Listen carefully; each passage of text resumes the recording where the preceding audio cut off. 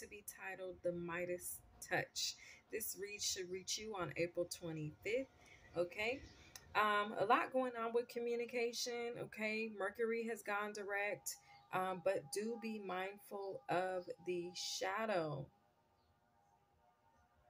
Okay, the little two week period worth of shadow that Mercury, um, you know, as we come out of it fully, there's still a little two week window, right? A little shadow energy. Okay, so as your words are powerful, so too are y'all's hands. Okay, um, and we're going to be talking a lot about the hands. Okay, a lot of um, hand mudra coming up here. Okay, now, why do you think everything that you touch, both physically and spiritually, takes root, grows, and improves? Okay, it's because your hands are more powerful than you think. And when you lay your hands to something, boy, things just really take off. Things get moving, things change. Okay, you can control your guys' aura and your chi by the signals you give off with your hands. All right, now these gestures are so powerful that you can make people uncomfortable with the shifting and positioning of them.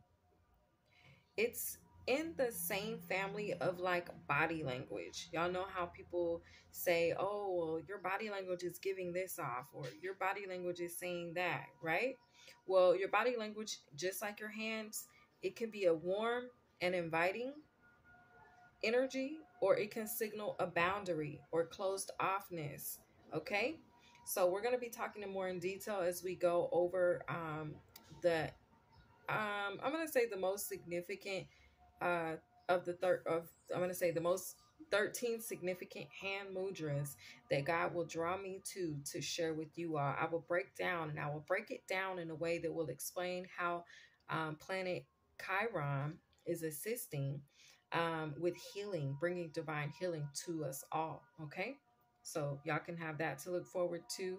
Um, now, some dates Spirit gave me are April the 29th and April the 30th that will be very significant. Um, there's going to be some activations going off around these dates.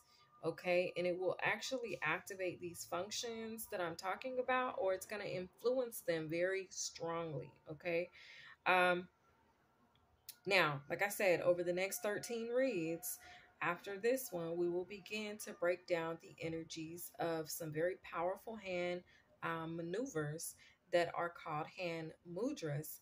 Um, my yogis out there, you guys probably are already very familiar um, with this energy, um, or this is where God will also be taking you all next. Okay. All right, you guys, I hope y'all enjoyed this read. My loves, I will see you guys in the next one.